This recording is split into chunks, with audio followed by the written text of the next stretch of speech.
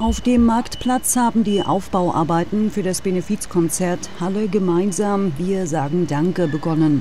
Für die Veranstaltung am Freitag wurde eine Bühne zwischen Rotem Turm und Marktkirche aufgebaut. Auf dieser wird den Besuchern von 16 Uhr bis Mitternacht ein vielschichtiges Programm geboten.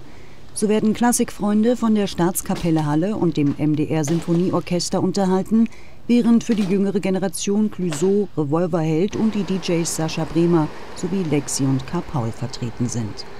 Das kostenfreie Konzert soll als Dankeschön für die vielen Helfer während des Hochwassers in Halle auch zum Spenden animieren.